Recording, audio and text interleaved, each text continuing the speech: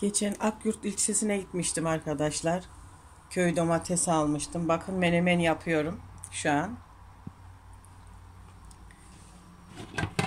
Birinci tencereyi pişirdim. Kavanozlara koydum. Bakın maşallah. Organik ve kıpkırmızı salça gibi rengi. Bunu bibersiz pişiriyorum arkadaşlar. Ee, bazı yemeklere e, koyuyorum ben kışın. Ee, şu mesela bu bibersiz olanları bu küçük kavanozlara koyacağım. Ee, makarna, bulgur pilavı, e, mesela dolaba e, buzluğa fasulye koydum, patlıcan koydum. Onlara koyuyorum arkadaşlar bu küçükleri. Şöyle bir litrelik e, kavanozları da menemen yapıyoruz. Biz menemeni çok seviyoruz ailece. Bakın. Bunlar da reçel kavanozları. Bunları da böyle değerlendirdim arkadaşlar.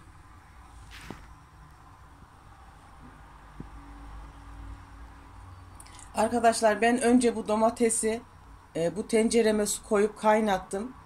Domatesleri içine attım. Bir 5 dakika beklettikten sonra kabuklarını soyuyorum. Daha kolay oluyor kabuk soyması.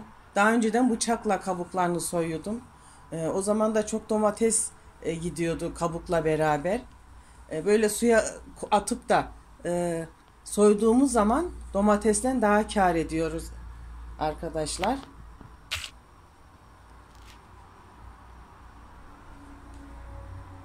Sonra da güzelce eşimin sağ olsun yardımıyla da doğradık. Son tenceremi de koydum. 20 kilo aldım arkadaşlar. Diğer videomda da söylemiştim. 10 kilo da pazardan yumurta domates aldım.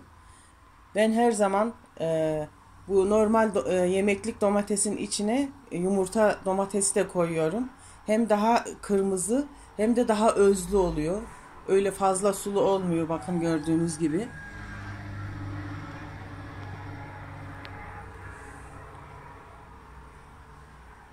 Rabbim hayırlısıyla güle güle yemeği nasip etsin sağlıkla. Herkese, bütün yapan güzel insanlara. Ve size şimdi açelyamı göstereceğim arkadaşlar.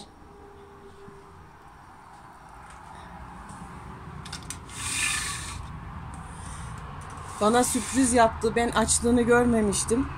Ee, yaprakları çok solgundu.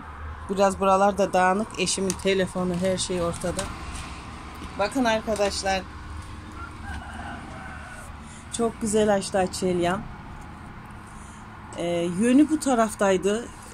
Rafta şöyle. Bakın yaprakları bayağı mahvolmuş. Bunu tabi araştıracağım neden böyle oluyor. Şöyle bakın. Sabah bayağı bir bakın budama yaptım.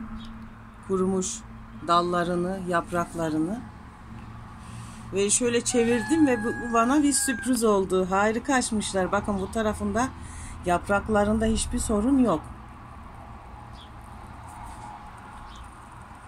Belki de güneş ışığından olmuştur bunlar. Çünkü cam balkonda e, bu camlar arkadaşlar ısıyı iki katına çıkarıyor mercek görevini gördüğü için ondan da yanmış olabilir belki. Benim komşum da benimle beraber almıştı. Onun hep kurudu. Çok şükür ben de korktum benim de açelyam kuruyacak diye. Ama gayet iyi maşallah. Arkadaşlar kapı çalıyor. Ben bir bakayım hemen. Evet arkadaşlar her zaman olduğu gibi ne zaman video çekmeye kalksam ya kapı ya telefon çalıyor. Komşum gelmiş.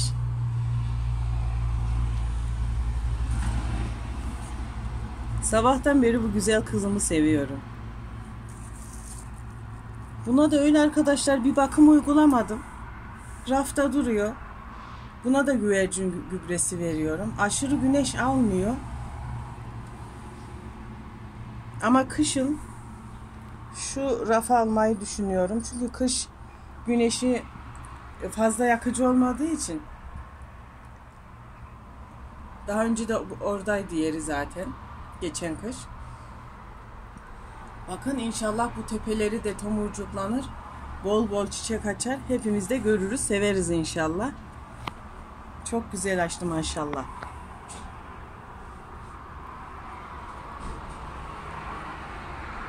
Bakın mandavillama, tomurcuğuna maşallah. Çok şükür Rabbime. Biraz daha büyüsünler arkadaşlar. O mandavillaları e, büyük bir saksıya alıp e, destek çubuklarıyla e, sarmaşıklarını sarmasını sağlayacağım. Tabi destek çubuğu almam için de markete gitmem lazım. Bağus'tan alıyorum ben arkadaşlar. Bu cam güzelim de arkadaşlar bakın yapraklarına. Böcekten kurtardım bu sefer de yapraklarında böyle lekeler oluşmaya başladı. Mantar mı yoksa küllenme hastalığı mı bilmiyorum. Bu üçüncü sanırım e, cam güzeli alışım. Bir türlü bunda tutturamadım ama en sonunda bunda tutturum mandavillayı tutturduğum gibi. Bakın güzel kızıma buz çiçeğim verigata olan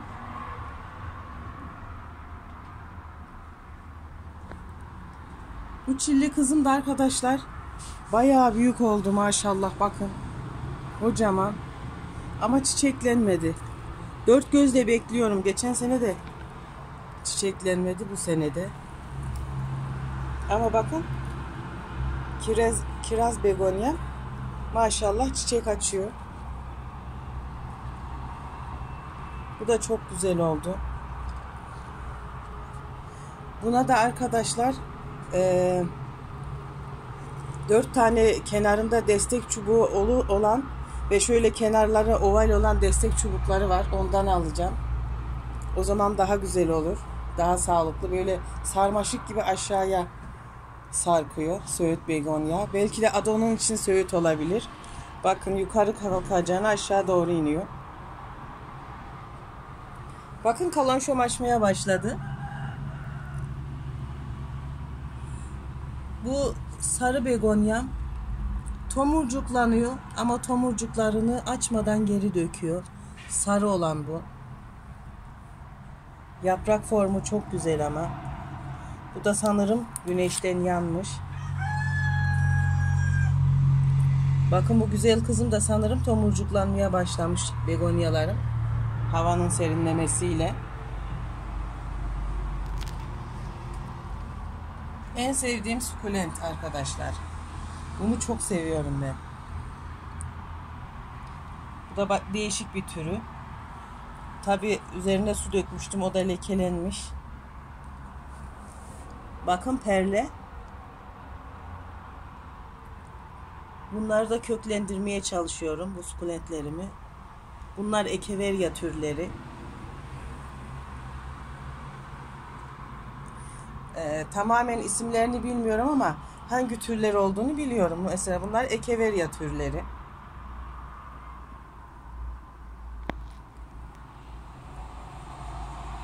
Domatesten çiçeklere geçtim arkadaşlar yine.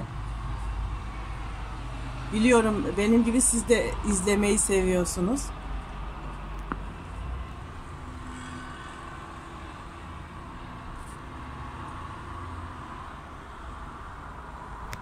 Bakın burası boş. Buraya da elbet güzel bir kızımı koyarım.